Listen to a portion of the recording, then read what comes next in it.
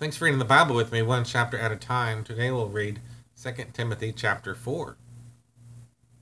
I charge you in the presence of God and of Christ Jesus, who is judge the living and the dead, and by his appearing and his kingdom, preach the word.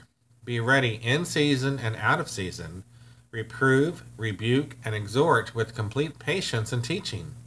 For the time is coming when people will not endure sound teaching but have itching ears that will accumulate for themselves teachers to suit their own passions, and will turn away from listening to the truth and wander off into myths.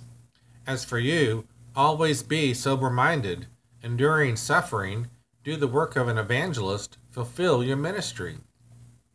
For I am already being poured out as a drink offering, and the time of my departure has come.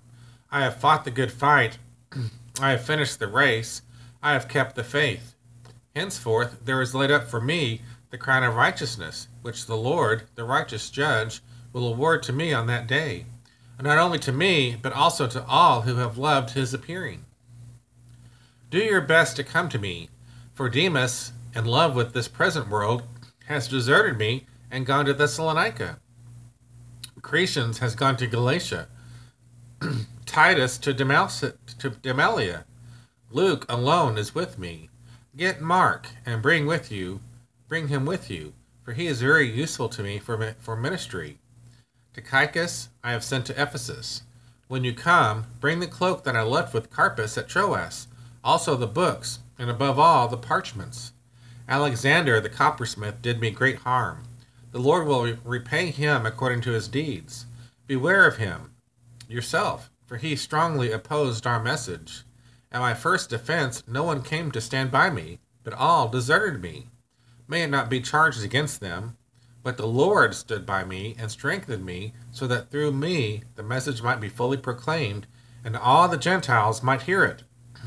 So I was rescued from the lion's mouth. The Lord will rescue me from every evil deed and bring me safely into his heavenly kingdom. To him be the glory forever and ever. Amen. Greet, Priscilla, Prisca and Aquila and the household of Onesiphorus. Erastus remained at Corinth, and I left Trophimus, who was ill, at Miletus. Do your best to come before winter. Eubulus sends greetings to you, as do Pudens and Linus and Claudia and all the brothers. The Lord be with your spirit. Grace be with you. Thanks so much for reading with me the Bible one chapter at a time as we read 2 Timothy chapter 4. Have a great day in the Lord.